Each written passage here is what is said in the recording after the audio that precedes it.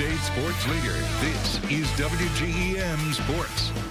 You can't ask for better weather to break out the golf clubs and hit the links for the golf season. And that's exactly what the Hannibal Pirates have been doing the last couple of weeks as they get ready for their spring season. We venture out to Norwood's golf course for tonight's Sports in Focus.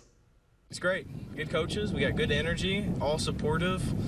It's just a good environment to be in. Positive vibes have been all over the course since the Pirates began practicing for their upcoming season, and head coach Damon Dollins believes the girls' success in the fall is rubbing off on his squad.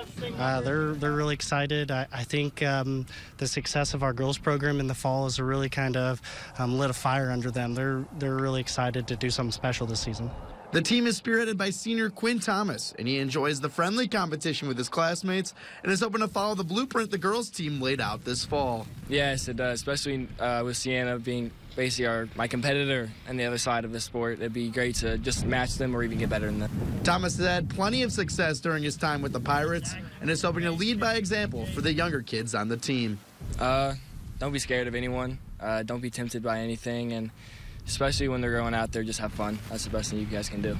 With plenty of talent across the roster, the Pirates are hoping for a big year on the fairways. And I, I definitely think we have the talent to, to get a team through, and that would be just phenomenal. I think it hasn't been done for a little while, I think. Um, so it'd be great to kind of put Hannibal's name back on that map in, in high school golf.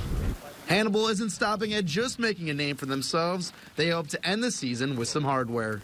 Oh, I want to see it bad. It'd be a great thing to top off with the year, and just seeing everyone happy together would be crazy.